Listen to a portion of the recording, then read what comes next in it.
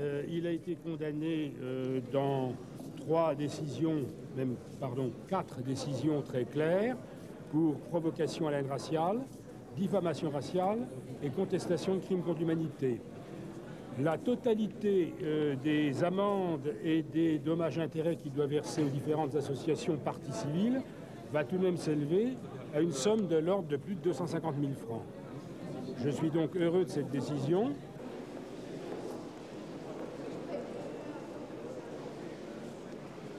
He, he, will, he, had, he had to pay, if we had all the condemnation, about uh, 250,000 francs. What are you feeling? Quel est votre, qu'est-ce que vous pensez du jugement Uh, I think that uh, the judgment is a very good thing. Uh, I was certain that Mr. Garaudy will uh, be uh, guilty uh, because for me it was another decision was literally impossible.